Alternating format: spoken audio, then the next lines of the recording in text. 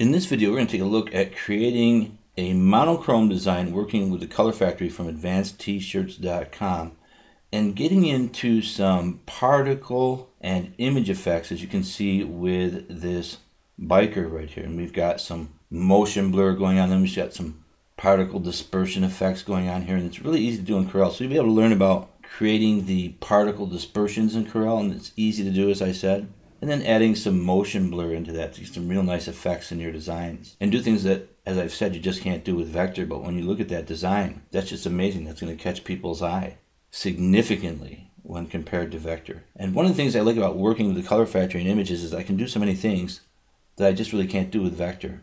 For example this has some glitch built into it and if you want to build some glitch into it you can. I've got some glitch with the top green layer going on there which is a monochrome. And that's actually up on top of the text for some effects in the text. And I could do even more with that. So to get started here, I'm going to explain what we're going to do. Got this image here, and I picked this up on Pixabay. It's a free image. I can work with it for free. As you can see right here, and there's the image, and I can download that. All you need to do is create an account, and these are public domain. You can use them commercially, what have you. I'll minimize that, and I'll take a look at this. Now, looking at this image, the first thing I'll do is create my dispersion effect. But I don't want to take a lot of time doing it. I want to make that easy. So what I'll do is I'll make some vector objects and then I'll go with fit to path along the biker. You'll see how I do that very easily. And then I'll get my dispersion effect and I'll also get my blurs from that dispersion. And I can tweak these and dial these in, you know, any way I want to as far as the blur is concerned once I've got that set up. Then I can take all of that combine it into one image. Then I can take all of that and convert that to a monochrome with the color factory actually doing the duotone with color for the effect and you can see the effect that I get. Now I can go into all kinds of different colors and setups with this and get some really different looks based on the color of the shirt. And once again, we're working off the color of the shirt here. So I'm going with a black background. So I want to make sure that that black background is pure black, 000 as you can see right there. If it wasn't, I want to make some adjustments, and that's covered in some of the other tutorials. So to get started, I'm going to take this image, I'll just bring this over here and duplicate it to the left. And I'm going to create a rectangle, just a basic shape of a rectangle. And I'll keep that pretty small. I'll zoom in, pushing in on my center mouse wheel. I'll rotate that, I'll hold down control and rotate that. I'm going to give that more of like a longer diamond shape to it. And then I'll create a few more of these and just kind of set them up kind of abstractly in different ways. As you can see right there, something like that.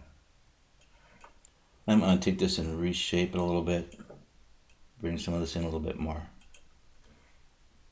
So this will be my foundation here. So I'll take these and I'm just going to, with all those selected, come up here to the multiple objects properties bar and weld those. That's going to be my shape. I'm going to give those a red outline. Now I'm going to zoom out of my biker. I'm going to come over here and get my freehand tool. Over here where you see the Bezier tool in the toolbar and we'll select that and then I'm just going to left click, hold down, and kind of follow the inside contour on the right hand outside of the biker to create a vector line that I can use for fit objects to path to create my dispersion effect. We'll come right down through here. Then I'll just right click and change that to a red. I can go to my shaping tool. And if there's any place I want to make an adjustment, like right here, I can bring this in a little bit and just tweak that line just like I'd like it to be. And I'm kind of happy where it is now. Now with that set up, I'm going to come over and select the diamond shapes that I made. I might make those a little bit smaller. And then I'm going to go to the Fit Objects to Path Docker. And this is CorelDRAW 2018 and here's that Docker. Now with this selected, the diamond shapes that I made, I'm going to hold down shift and select the vector line that I made along the biker. And I'm going to change my duplicates to, let's say, 20 for the first time. I'm going to go with progressive, and I'm not really going to change any of the other settings. And you can experiment with this and do many different things with it. And then I'll click on Apply. And now you can see that effect, how it's gone through there, and created something that I can use to pull that out and create a particle effect. So I'm going to go with that for now, and I'm going to zoom in. And I'm, these objects are grouped, by the way, so I can just select the freehand object that I made and delete that. Now what I'll do here is go in and take a look at things and make sure I'm happy with where they're set up. So I'll ungroup for now, click off, and I'm going to bring this maybe in a little bit more there. I Might do the same thing here. I might duplicate this up here and just tweak in how I'm going to get my particles or my particle effect working here. And I might rotate this into the shoe or boot of the biker a little bit more. The rest of this I'm all pretty happy with. So I'm going to go ahead and lasso all of those objects and I'm going to come up here to the multiple objects property bar and weld them. Then I'm going to hold down shift and select the bitmap and come up here to intersect and you'll see what happens here just in a second. I'll left click on the vector and move that.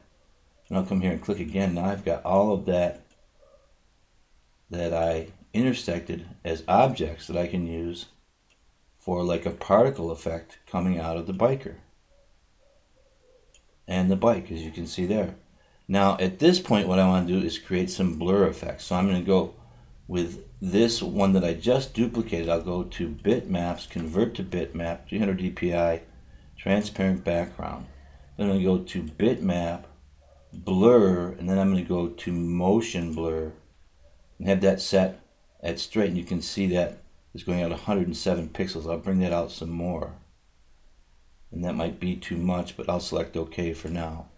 And I'll bring this over and down right into the helmet of the biker and you can see how that's playing off the particle effect. And then I could actually duplicate that. Left click, right click one time, duplicate and move that a little bit. And you can see that effect that I'm getting.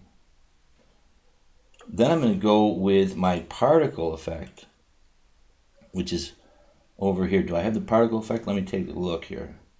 There's an X in the center that I want to get a hold of, and that's right here where the circle is. I'm going to click again what do I have there? I've got the blur.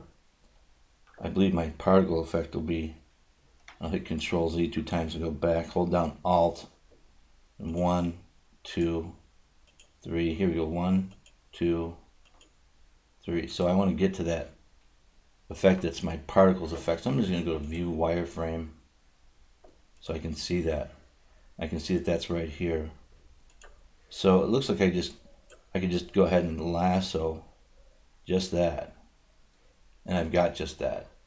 So I'm going to take that and I'm going to go back to view enhance. Now if you're in 2019 you might not be able to see this but I have that select.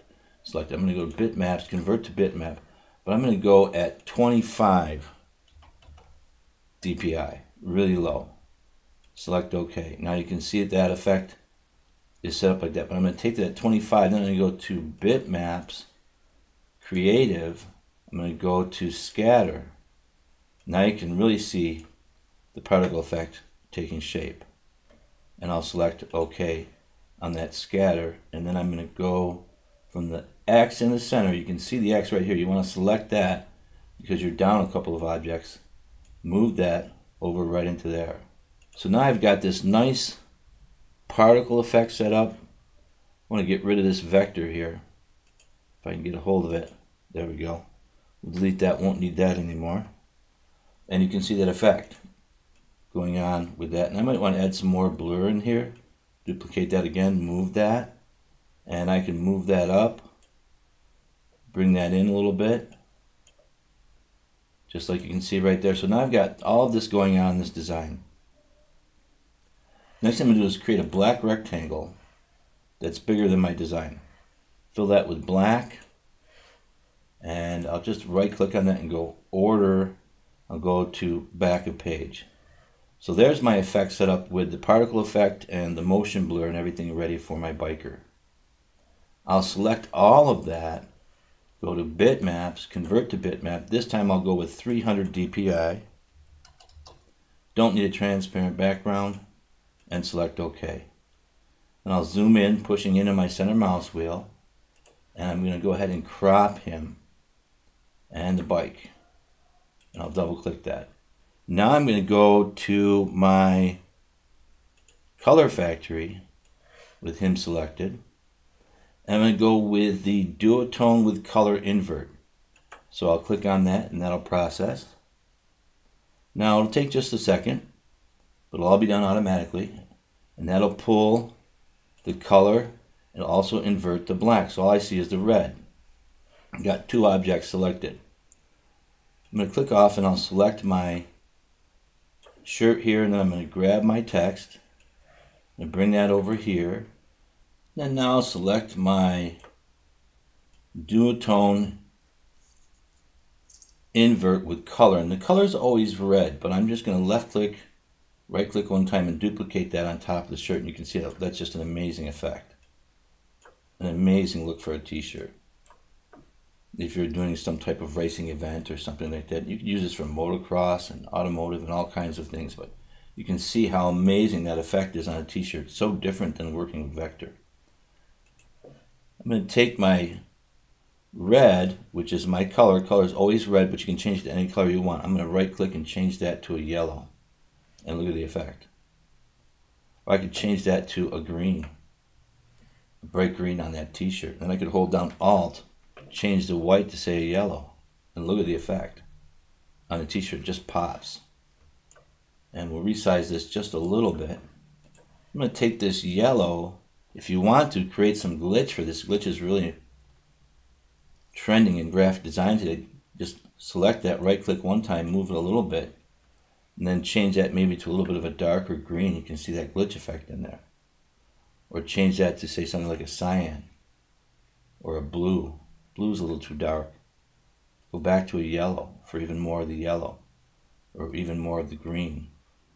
Or come down into one of the lighter greens.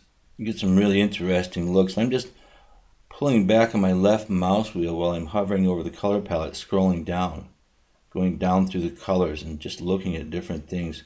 Right click on a purple and just look at that glitch effect. That's amazing. So you can see you can go through here and just do all kinds of things with color, and working with your color, working with the monochromes, something like that darker look that's in there, bringing in some more detail. If you want to go into three colors, but we'll just go with the green and yellow for now, which would just be two colors. So I'll just come up here, right click on the green. You can see that effect. Or actually, I'll go to yellow with that. Nice effect there. So once I've got that where I want it, all I need to do is go ahead and grab my text. I'll left click, bring that over.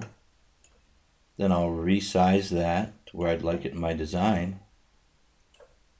Zoom in here, bring this in. We got Speedism 2019 with some particle dispersion and motion effects. I'm going to go and fill that with some green like the shirt color. And then maybe I'll offset that just a little bit and then fill that with a yellow. Once again, this is a two color design, very easy to print. Great look, pops right off the shirt. You know, if you had an event or something like that, you could have your logos and things down here. Going out with design, being able to set up all of this very quickly and easy, working with the color factory and Corel Draw, stepping entirely outside the world of vector and getting into what's trending in modern graphic design, not having to print with a lot of colors. You can save ink with the DTGs, print with less screens if you're screen printing, and create designs like this that really give you that edge over people that are working with vector and working with free images from pixabay.com and other websites. So just a quick look at some of the things we can do. That particle dispersion effect with the motion effect and the monochrome and everything all coming together to create a really nice look that has a lot of pop. We'll wrap here and we'll see you in our next video.